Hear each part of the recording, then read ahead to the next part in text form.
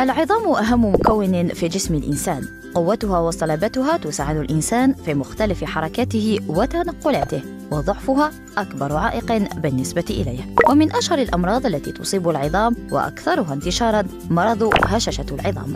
اسم هذا المرض يعبر عنه. وهو يعني ضعف العظام وجعلها عرضة للكسور حتى عند التعرض لأقل الصدمة حدة. ومن الأسباب الرئيسية للإصابة بمرض هشاشة العظام هو نقص هرمون الأستروجين. لذا تجده ينتشر بنسبة عالية عند النساء تصل إلى 80% نتيجة لانقطاع الدورة الشهرية. أما عموما فتختلف أسبابه بين التدخين ونقص فيتامين دي وعدم ممارسة الرياضة. يمكن للأفراد تفادي الإصابة بمرض هشاشة العظام وذلك باتباع أساليب وقائية كالتعرض لأشعة الشمس تناول الأغذية التي تحتوي على الكالسيوم وممارسة نشاط رياضي بشكل منتظم حيث تحافظ التمارين الرياضية على صلابة العظام وقوتها من خلال تمارين تحمل الوزن. وهي التمارين التي تحرك فيها جسمك ضد الجاذبية مع الحفاظ على وضع مستقيم وقد تكون شديدة التأثير أو ذات تأثير منخفض. ومن الأمثلة على تمارين التحمل الركض كرة القدم المشي وصعود الأدراج. فثلاثون دقيقة من هذه التمارين يوميا يزيد من قوة العظام.